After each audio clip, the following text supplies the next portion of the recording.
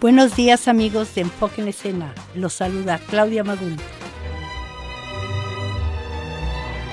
Para los conciertos de este fin de semana, la Orquesta Filarmónica de UNAM tendrá como director invitado al portugués Nuno Coelho, quien llevará al ensamble universitario en la interpretación de La Isla de los Muertos de Rachmaninoff, Intermezzo de Atzimba de Ricardo Castro y Suite Rústica número uno de Fernando López Grasa. No se pierda este cuarto programa de la Orquesta Filarmónica del UNAM en la Sala Netzahualcoyotl, que cierra el programa del ensamble universitario con el concierto para orquesta del compositor húngaro Bela Bartok.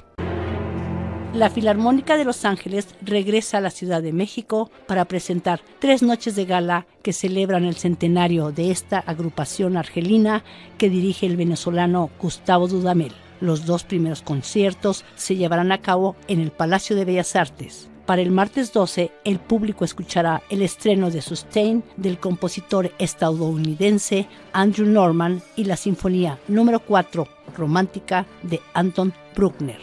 Para el concierto del miércoles 13 de noviembre, el programa incluye dos obras comisionadas ex profeso para esta orquesta. La primera pieza será Tenac, Invenciones de Territorio, de la mexicana Gabriel Ortiz.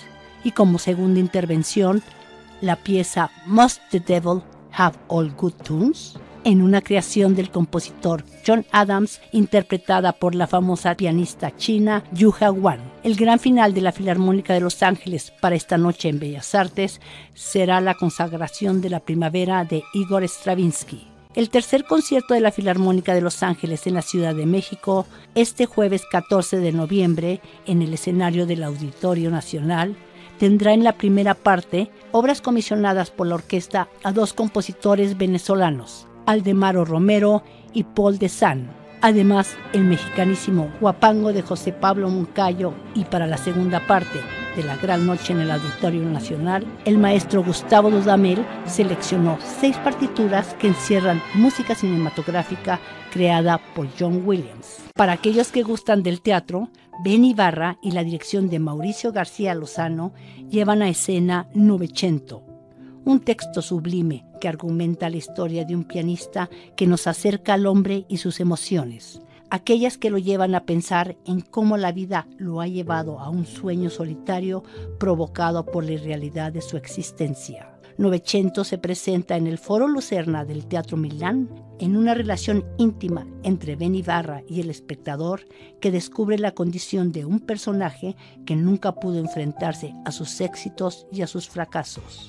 Para más información de todo lo que sucede en los escenarios capitalinos, visite www.interesena.com, el escenario en el ciberespacio.